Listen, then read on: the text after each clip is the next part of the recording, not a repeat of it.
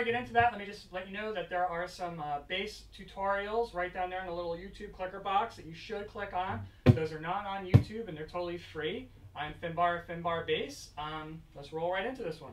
All right, so real simple. What you're going to be doing here is you're going to be starting on the um, fifth fret of the E string and you're running up from fifth, sixth to seventh.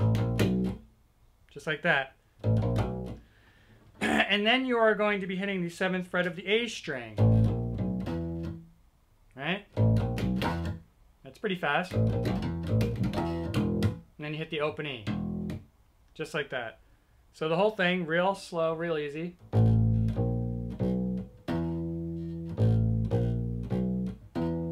Open E. Now you could also play this uh, with the open A and on the first fret and the second fret of the uh, A string, of course. And then you're hitting the second fret of the D.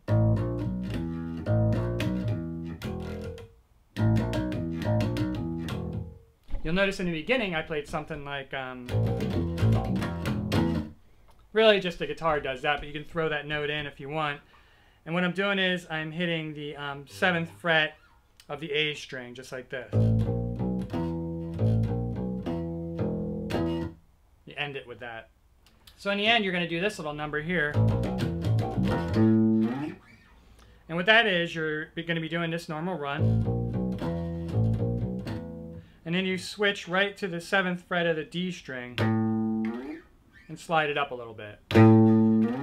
Sounds like this.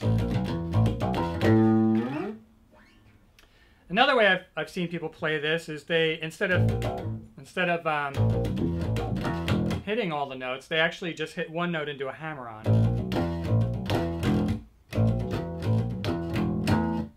Just like that. So what I'm doing there is I'm hammering, I'm hitting the um, fifth fret of the E string, and then I'm hammering on with my uh, middle finger onto the sixth fret and then the seventh fret with my third finger.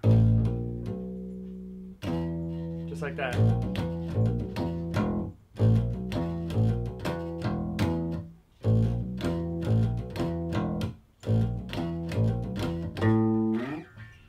Just like that.